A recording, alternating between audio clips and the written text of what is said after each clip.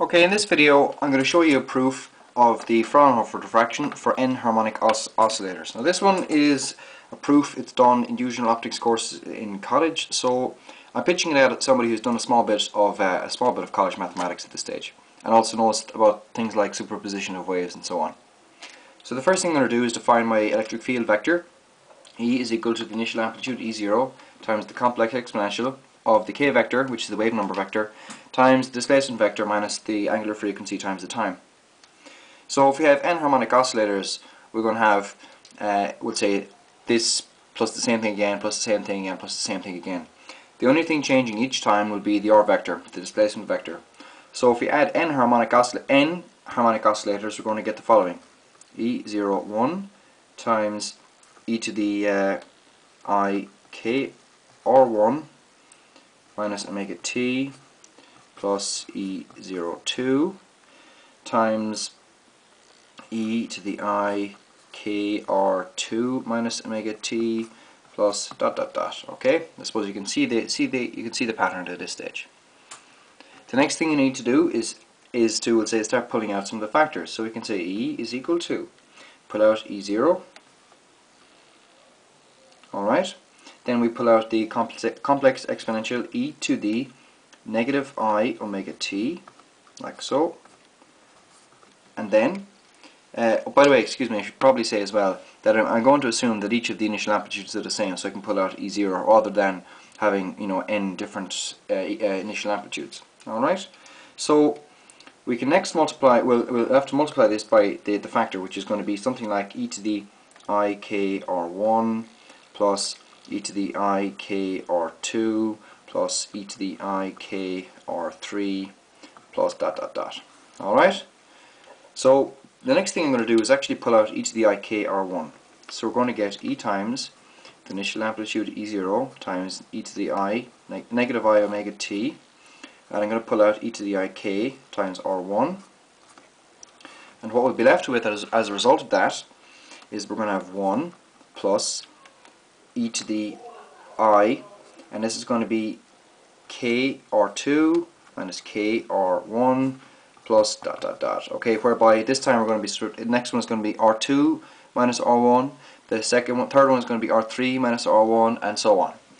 Now it has been defined when you superpose waves uh, the following definition is made that when you have k uh, r1 minus k r2 we call that another letter delta. Alright, you see these deltas everywhere when you're dealing with uh, wave optics, okay? So you can see this is a delta, okay, and R3 minus R1 is going to be another delta. A different one, but a delta all the same. So what we need to do now is make a another another substitution. So we're going to say the following. I'm going to say the electric field is equal to the initial amplitude of the electric field times e to the negative i omega t times e to the i kr1 times.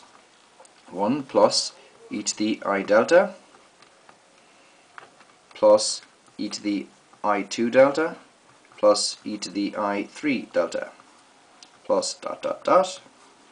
Alright, now knowing our laws of powers and all this sort of thing, we can see well e to the i two e to the i2 delta, e to the i2 delta is the same as e to the i delta, uh, e to the i delta times e squared.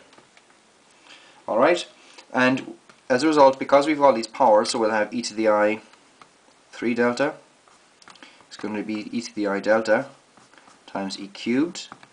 Okay, we're going to have an we're going to have an increasing uh, exponential set of powers. And for those of you doing a good bit of mathematics, you may realize that this is actually can be approximated using a binomial expansion. I'm not going to get into the, the actual the, the doing of the binomial expansion. Okay, so I'm just going to tell you the following, right? You can have you can use those powers, you can manipulate the powers a small bit, okay?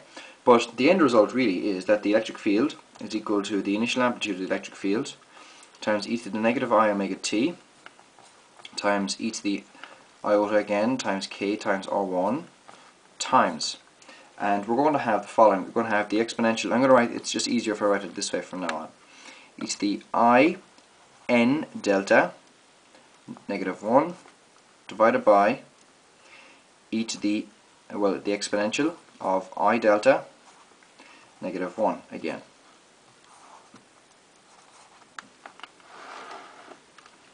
Like so. Okay, that's just the binomial approximation. So if you're if you're struggling with that and you say, oh, oh my god, how am I supposed to come up with that myself?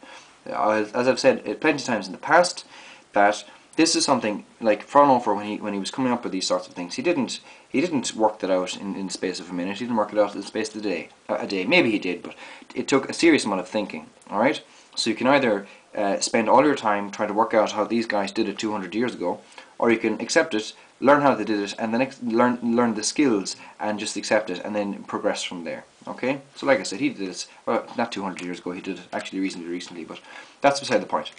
So the next thing is a small bit of a sleight of hand. Because we're, we're trying to get sine squareds and sines in this, okay? And if uh, we're also we have these complex exponentials there. So we know that e to the i theta minus e to the negative i theta over 2 is equal to the sine of theta.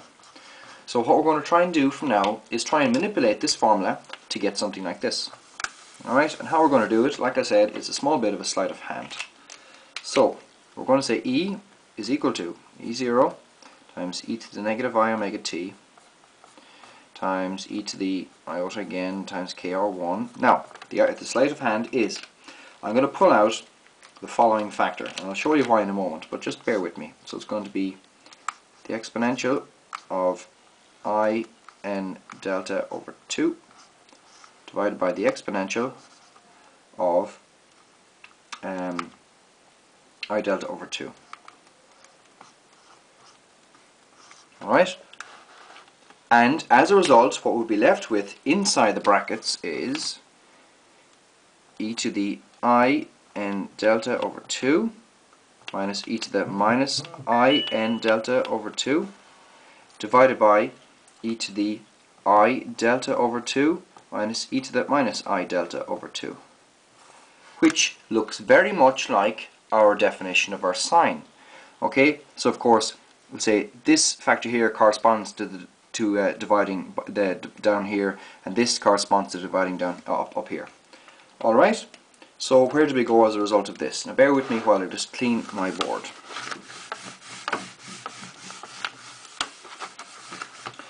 Alright what I'm going to do next is just put straight in the fact that we had sines there. So just gonna I'm going to rewrite this.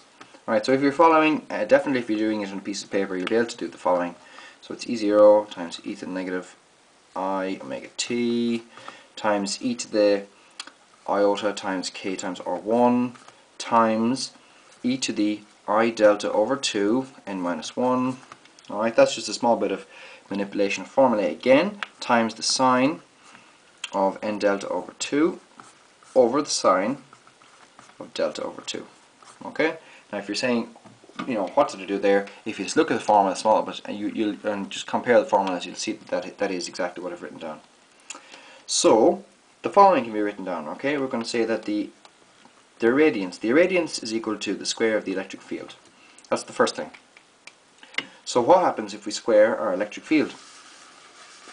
Okay, we're going to get the following. You're going to get the irradiance. By the way, the irradiance is the power. Okay, it's kind of it, it's it's units of watts.